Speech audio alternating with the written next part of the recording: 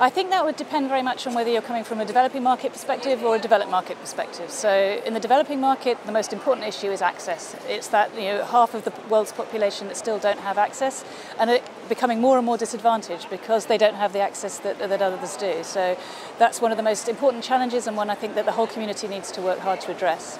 On the more developed side, where the internet has become pervasive, we have lots of, I think, dangerous things to worry about. We have the cybersecurity threats, terrorism, um, infractions of people's privacy, and so on. And I think that's again where the IGF plays a very important role to discuss those and discuss possible solutions to, to all of those problems.